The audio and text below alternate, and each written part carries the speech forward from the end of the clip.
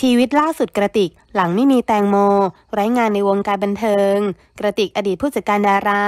ช่วงก่อนหน้านี้เป็นที่สนใจของผู้คนจำนวนมากสำหรับกระติกอิสริน เธอนั้นเป็นอดีตผู้จัดการของแตงโมพัทรธิดา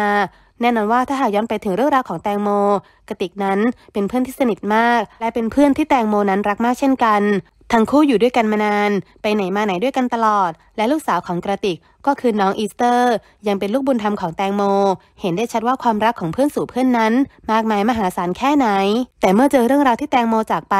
ตัวของกระติกก็เจอกับกระแสวิพากษ์วิจารณ์ บนโลกออนไลน์เยอะมาก ถึงอย่างไรก็เชื่อว่าเธอนั้นเสียใจไม่น้อยไปกว่าคนอื่นๆอย่างแน่นอน กับเรื่องราวที่เกิดขึ้นทั้งหมด ในวันนี้เราจะพาทุกคนมาดูชีวิตล่าสุดของกระติก เธอนั้นก็ใช้ชีวิตส่วนใหญ่อยู่กับลูก พาลูกไปเที่ยวตามสถานที่ต่างๆ และมีการปาร์ตี้กับกลุ่มเพื่อนอยู่บ่อยครั้ง เอาเป็นว่าเราตามไปชมภาพของเธอ กับชีวิตปัจจุบันกันเลยดีกว่าค่ะ